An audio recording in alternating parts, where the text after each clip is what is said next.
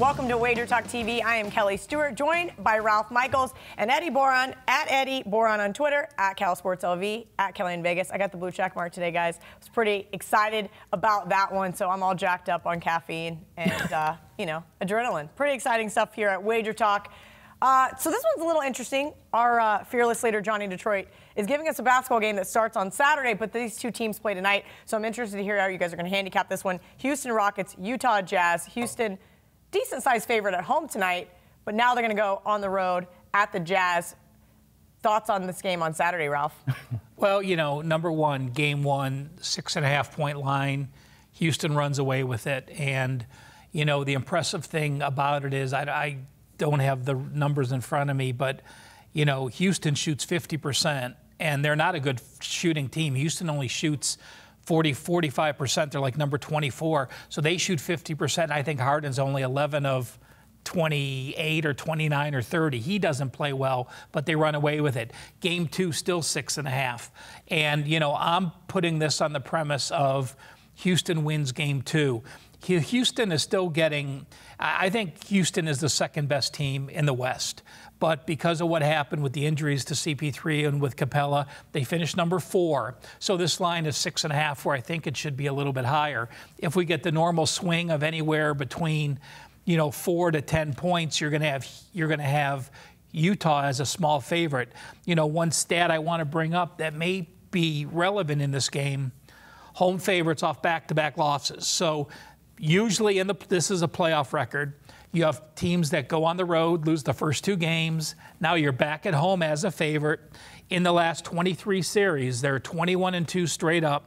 17 and 6, 73.9 against the spread. And a lot is made of that 0-2 back home first half angle you're going to hear about as these teams so we're return. we're planning on Utah losing tonight in Houston. Yeah. Then when they play on Saturday, you're projecting they're going to be a favorite, obviously. They'll be a small favorite. Okay. Yeah. And so you would play them on the money line, or you'd play them against the spread? If the line, yeah, I'd, I'd probably play them on the spread. I would okay. think Houston, Houston this year, five and eleven ATS on the road when the line's between the three and a halves. So they haven't gone on the road. They, they again, they don't shoot well. Houston's the better. Utah's the better defensive team.